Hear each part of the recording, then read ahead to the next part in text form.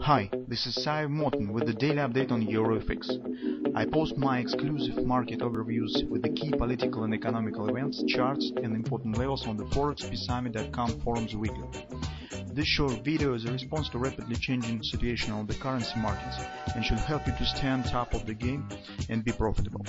I suggest you to visit forexpeacearmy.com forum and read my analysis for the week before watching this daily video. Welcome everybody guys, let's update our view on the euro currency. So yesterday it was not really very significant price action, market mostly stand, stand at the same area, but uh, the overall price action that we see on the intraday chart doesn't really encourage on taking any long position. So if you remember in the weekly report and the weekend, we made an assumption that still euro currency looks right now a bit heavy and uh, currently some reassessment by investors of the current uh, situation in the economy in the United States and the global economy, the overall political environment uh, takes the lead and investors gradually turning from the some uh, emotion judgment on the situation that uh, was dominating in the end of the 2018 right now to some common sense. And understanding that in reality uh, that the statistics of the United States economy is really not bad and Actually, maybe it is too early to talk about some big reversal in the markets. Besides uh, this uh, unstoppable unrest in France, this uh, difficult uh, situation, political situation in Germany, and um, this uh, uncertainty about the Brexit and what really will happen. So this also doesn't bring some optimism to investors. So uh, besides, from the pure technical point of view, here we could judge on uh, price behavior in relation to the stock market. So uh, the, the, the point is that uh, the, the, the, European stock market is deeply oversold on the monthly chart. And currently we see the pullback that's standing uh, as on, on all major uh, European indexes. This Euro Stoxx 50, Germany DAX.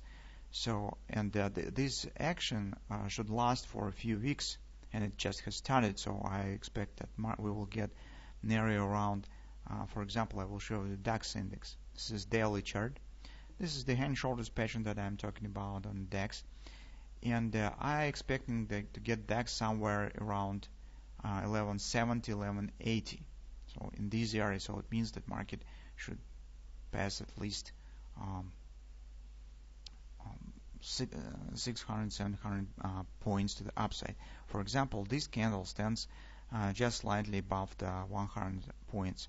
So uh, as you can see, there's pretty nice room uh, till the fin final destination point. it doesn't mean that they will move an equal amount from the euro currency and the DAX, but overall direction will, will, will stand. And as you know, that uh, the stock market usually rallies when the currency becomes weaker. So this fundamental relation is based on interest rates our anticipation of the interest rates or um, in relation to the United States dollars or anyway um, since we have this situation on the DAX uh, on the stock market it means that the euro currency probably will remain under pressure. Besides uh, finally if we'll take a look at the dollar index uh, the picture on the dollar index looks a bit different compared to weekly uh, euro.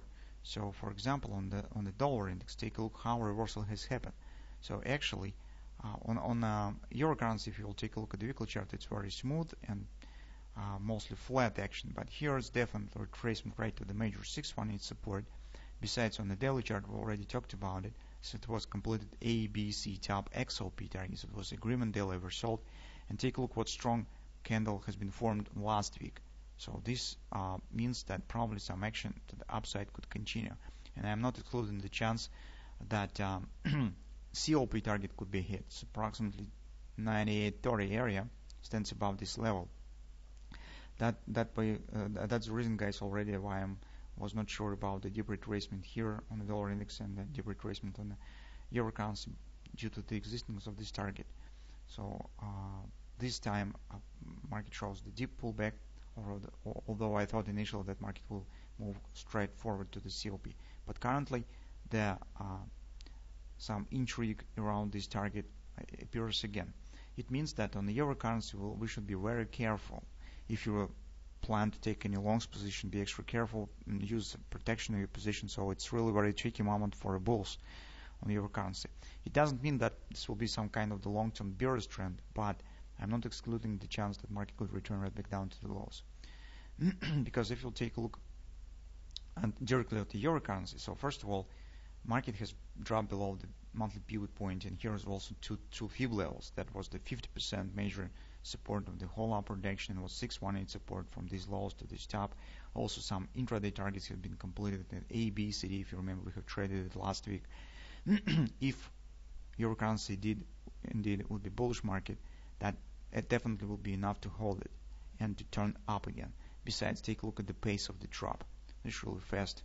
It's really fast acceleration. So, uh, and harmonic swing has been exceeded as well.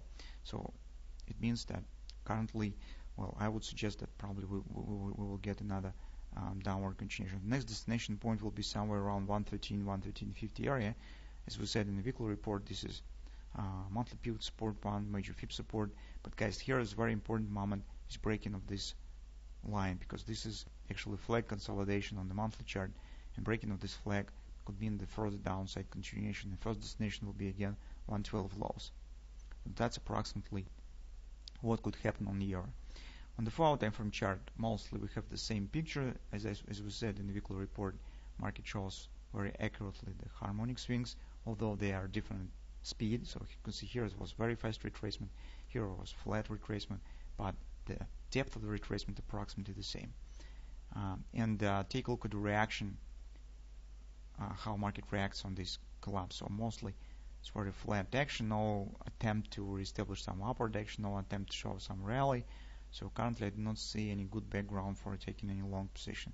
Besides here you could recognize the kind of the bearish dynamic pressure, so market shows the bull trend, but price action is not. It means that downward downward action could be continued, and here we are dealing with this this the same uh, A, B, C top pattern that was OP. Actually, that was our first long entry as we caught just the minor retracement. Um, now we're watching for XOP that stands in 1295, so it's approximately 113 area. So right here in agreement with the monthly pivot support one. So that's what we were watching for on euro currency. The fact that market stands here flat, as you can see, mostly could have a relation to DAX index. So if we'll take a look on the DAX, uh, market is overbought. So and you can see recent action also recent session was flat the tight range But as soon as market will abandon the overbought and rally on stock market will continue, euro currency probably also will continue downward action. So let's keep watching what will happen. Uh, currently, we do not see any good bullish setup for trading, and uh, actually, overall situation stands very tricky for bulls, and really will be the tough task to trade it long currently um, on euro.